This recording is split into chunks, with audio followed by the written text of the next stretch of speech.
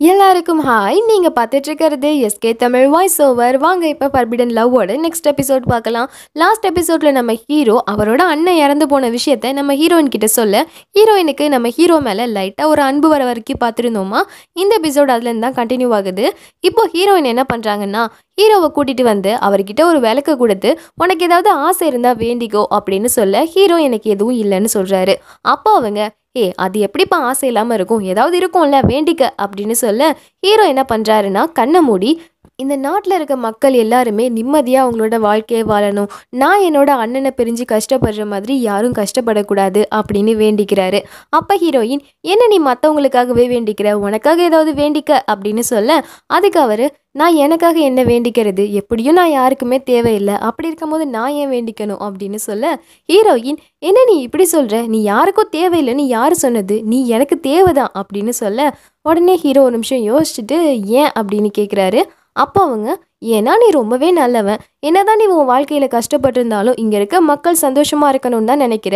நீ உன்னோட அண்ணனை பிரிஞ்சு வந்திருந்தாலும் இங்கே இருக்க மக்கள் ஒன்ன மாதிரியே யாரையும் பிரிஞ்சு கஷ்டப்படக்கூடாதுன்னு நினைக்கிற. அது மட்டும் இல்லாமல் நிறைய விஷயத்தில் நீ சுயநலமே பார்க்காம என்னையும் காப்பாற்றி இவ்வளோ தூரம் கூட்டிட்டு வந்திருக்க. அப்படி இருக்கும்போது நீ ரொம்பவே நல்லவன் தான். உன்னோட உதவியும் மற்றவங்களுக்கு தேவைதான் அப்படின்னு சொல்ல ஹீரோ ஒரு நிமிஷம் சிரிச்சிட்டு தேங்க்ஸ்னு சொல்கிறாரு அப்போ ஹீரோயின் தேங்க்ஸா எதுக்கு? அப்படின்னு கேட்க அப்போ அவர் மனசுக்குள்ளே ஒன்று நினைக்கிறாரு. அது என்னன்னா உன்னை சந்திச்சதுக்காக தான் தேங்க்ஸ் சொல்கிறேன் ஏன்னா உன்னை சந்திச்சதுக்கு அப்புறமா தான் எனக்கே என்னைய கொஞ்சம் பிடிக்க ஆரம்பிச்சிருக்கு. அப்படின்னு மனசுக்குள்ளே நினைக்கிறாரு. அப்போ ஹீரோயின் சரி சரி அதை விடு. உனக்காக ஏதாவது வேண்டிக்கும் கண்டிப்பாக உனக்கு ஏதாவது வேணும்னு தோன்ற ஒன்று உன்கிட்ட இல்லாமல் இருக்கும்ல. அது என்னன்னு சொல்லு அப்படின்னு சொல்ல டக்குன்னு அந்த இடத்துல நிறைய பேர் டான்ஸ் ஆட ஆரம்பிக்கிறாங்க. அவங்க எல்லாரையும் ஹீரோயின் பார்க்கும்போது டக்குன்னு ஹீரோ நான் உண்மையாகவே எனக்கு வேணும்னு நினைக்கிறது நீ தான் அப்படின்னு அவர் மனசுக்குள்ளேயே நினச்சிட்டு ஹீரோயினை டச் பண்ணலாம் அப்படின்னு வரும்போது டக்குன்னு அந்த இடத்துக்கு அந்த அரசர் பூ வந்துடுறாரு. அவர் வந்ததுக்கு அப்புறமா என்ன வழக்கம் போல நம்ம ஹீரோயினை அவர் பாட்டு கையை பிடிச்சி கூட்டிட்டு போறாரு.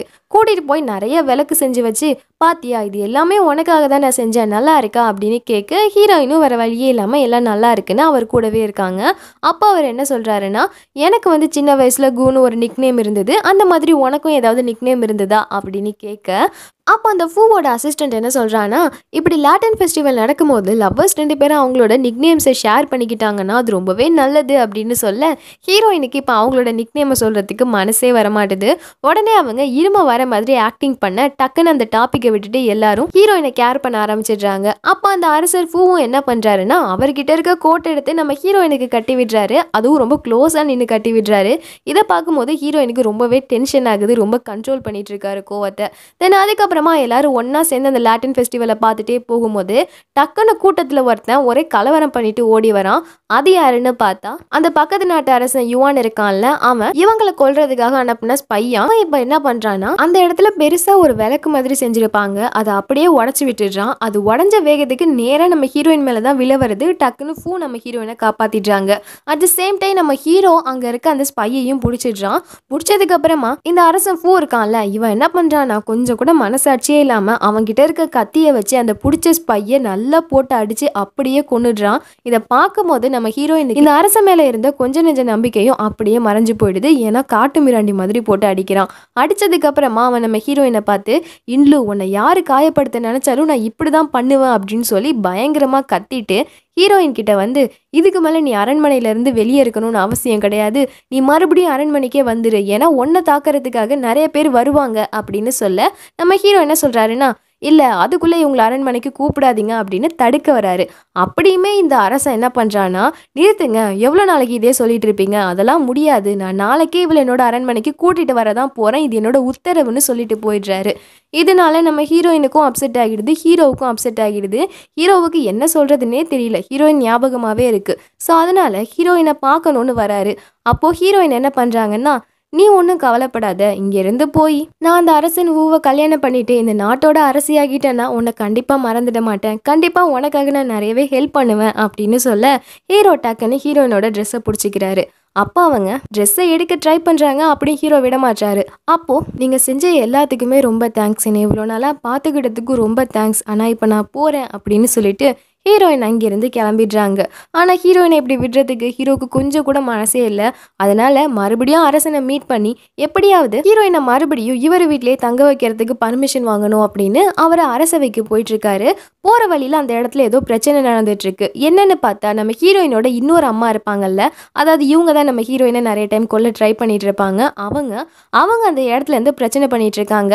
என்னன்னா என்னோட இன்னொரு பொண்ணு இங்கேயே அந்த பக்கத்து நாட்டு அரசன் யுவானுக்கு கல்யாணம் பண்ணி கொடுக்கக்கூடாது அவங்க என்னோட பொண்ணை கல்யாணம் பண்ணிக்கணும்னு கேட்குறாங்க ஆனால் என்னால் கல்யாணம் பண்ணி கொடுக்க முடியாது அப்படின்னு சொல்லி சண்டை போட்டுட்டு இருக்காங்க. நம்ம ஹீரோவும் இதை கவனிச்சுட்டு என்ன பண்ணுறாருன்னா சரி இதை பற்றி நம்ம அரசர்கிட்ட பேசுவோம் அப்படின்னு அரசர்கிட்ட இதை வந்து சொல்கிறாரு அதுக்கு அங்கே இருக்க அந்த அரசன் பூ என்ன சொல்லிடுறான்னா இல்ல அந்த பக்கத்து நாட்டு அரசன் யுவானுக்கும் நமக்கும் பிரச்சனையாவே இருக்கு.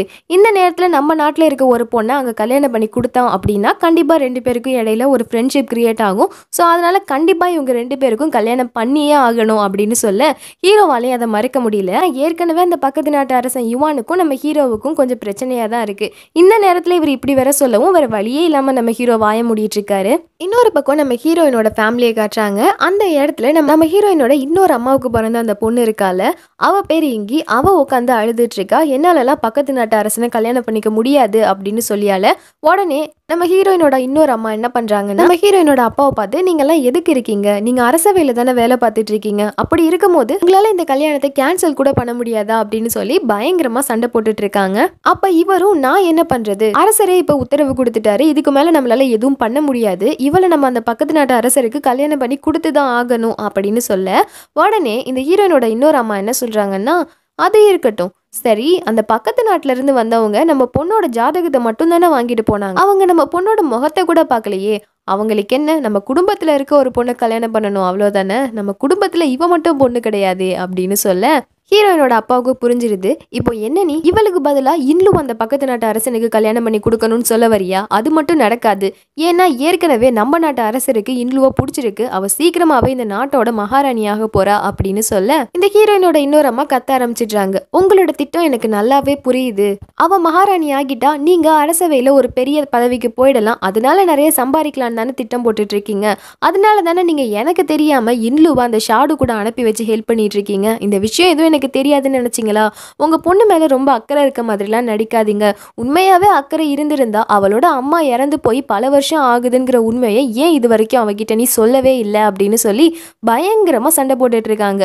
உடனே இவராலையும் அவங்க கேட்குற எதுக்குமே பதில் சொல்ல முடியாம நீ வாயை மூடு நீ எவ்வளோ கேள்வி கேட்டாலும் இப்போதைக்கு இங்கேயே அந்த பக்கத்து நாட்டு இளவரசனுக்கு கல்யாணம் பண்ணி கொடுத்து தான் ஆகணும் அப்படின்னு சொல்லிடுறாரு. ஆனா நம்ம ஹீரோயினோட இன்னொரு அம்மா இருக்காங்கல்ல அவங்க சும்மாவே இல்லை. அவங்க இன்னொரு பிளான் பண்றாங்க. அது என்னன்னா நம்ம ஹீரோ ஹீரோயினோட ரெண்டாவது அம்மா இருக்காங்கல்ல அவங்களுக்கு ரொம்ப உடம்பு சரியில்லை அப்படின்னு சொல்லி நம்ம ஹீரோயினை அவங்களோட வீட்டுக்கே வர வச்சு நம்ம ஹீரோயினை கடத்திடுறாங்க. ஆனா பாவம் இந்த விஷயம் ஷாடுக்கு தெரியவே இல்லை.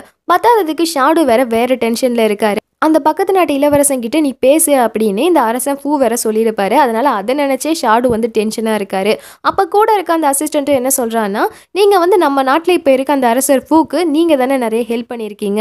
அவர் அரசராகிறதுக்கு முன்னாடி உங்களை தானே நம்பியிருந்தாரு. அப்படி இருக்கும்போது அவர் நம்மளோட நல்லதுக்கு தானே பண்ணுவார். நீங்கள் போய் அந்த பக்கத்து நாட்டு அரசன்கிட்ட பேசுங்க அப்படின்னு சொல்ல ஹீரோ என்ன சொல்கிறாருன்னா என்னதான் அவன் அரசன் ஆகிறதுக்கு முன்னாடி நம்மளை நம்பி இருந்தாலும் இப்பதான் அவன் அரசன் ஆகிட்டான்ல அதனால அவன் கண்டிப்பாக மாறி இருப்பான். அவனுக்கு என்ன லாபம்னு படுதோ அதை மட்டும்தான் கண்டிப்பாக அவன் செய்வான் அப்படின்னு சொல்லிடுறாரு. ஏன்னா அதுதான் உண்மை. தென் இப்படி இவங்க பேசிட்டே இருக்கும் போது தான் அங்கேருந்து ஒருத்தவங்க வந்து இந்த மாதிரி இன்லு வந்து அவங்க அம்மாவுக்கு உடம்பு சரியில்லைன்னு சொல்லி அவளோட வீட்டுக்கு போனா ஆனால் போனவ இன்னும் திரும்பி வரவே இல்லை அப்படின்னு சொல்ல உடனே ஹீரோ என்ன பண்ணுறாரு ஹீரோயினை தேடி நேராக அவங்களோட வீட்டுக்கே போகிறாரு அங்கே போய் நேராக அவங்க வீடு எல்லாத்தையுமே செக் பண்ண ஆரம்பிச்சிடுறாரு. பார்த்தா அந்த இடத்துல ஹீரோயின் இல்லை. ஹீரோயினோட மெய்ட் மட்டும்தான் இருக்கா? அவளை கூட்டிட்டு வராங்க. அவ என்ன சொல்றான்னா அந்த பக்கத்து நாட்டு இளவரசனுக்கு கல்யாணம் பண்ணி வைக்கிறதுக்காக இங்க இருக்க இங்கிக்கு பதிலா இன்லுவ கூட்டிட்டு போயிட்டாங்க அப்படின்னு சொல்லிடுறா. உடனே ஹீரோவுக்கு பயங்கர கோவம் வருது. ஹீரோயினை எப்படியாவது காப்பாத்தணும்னு கிளம்புறாரு.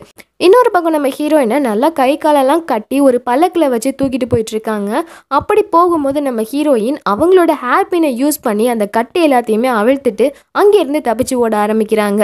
ஆனால் அங்கே இருக்கவங்க சும்மா விடலை. நம்ம ஹீரோயினை துரத்திட்டே வராங்க. அப்போ நம்ம ஹீரோயின் கையில் ஒரு கத்தியை எடுத்துட்டு என்கிட்ட வராதிங்க. வராதீங்க நான் எதுக்கு இங்கேருந்து போயிட்டுருக்கேன்னு உங்களுக்கு தெரியும்ல. அந்த பக்கத்து நாட்டு அரசனுக்கும் எனக்கும் கல்யாணம் ஆக போகுது. ஒருவேளை என்னோட உயிருக்கு ஏதாவது ஆபத்துனா உங்களை அந்த பக்கத்து நாட்டு அரசன் சும்மா விட மாட்டான் அப்படின்னு சொல்லி எப்படியாவது அவங்கள்ட்ட இருந்து தப்பிச்சு போகணும்னு ரொம்பவே கஷ்டப்பட்டு ட்ரை பண்ணிட்டு இருக்காங்க கரெக்டாக அப்போ தான் அந்த இடத்துக்கு ஹீரோ வராரு. அவர் வந்து அங்கே இருக்க எல்லாரையுமே அடிச்சு போட்டுட்டு ஃபைனலாக ஹீரோயினை காப்பாற்றிட்டு ஹீரோயினை காப்பாற்றின உடனேயே ஹீரோயின் என்ன சொல்கிறாங்கன்னா எங்கள் அம்மாவை நான் போய் பார்க்கணும். சீக்கிரமாக வா கிளம்பலாம் அப்படின்னு சொல்லிட்டு வேகமாக அவங்க அம்மாவை பார்க்கறதுக்காக ஹீரோயின் கிளம்பி வராங்க. கரெக்டாக இதோட இந்த எபிசோட் முடியுது. ஆக்சுவலி ஏற்கனவே சொல்லிட்டாங்க நம்ம ஹீரோயினோட அம்மா இறந்து போயிட்டாங்க அப்படின்னு. பட் இந்த விஷயம் தெரியாமல் ஹீரோயின் இவ்வளோ நாளாக இருந்திருக்காங்க. இப்போ அந்த உண்மை அவங்களுக்கு தெரிய போகுது. ஸோ இதனால அவங்க எப்படி ரியாக்ட் பண்ண போகிறாங்கன்னு நம்ம நெக்ஸ்ட் எபிசோடில் பார்த்து தெரிஞ்சுக்கலாம். இதோட நான் இந்த வீடியோ முடிச்சுக்கிறேன். பாய்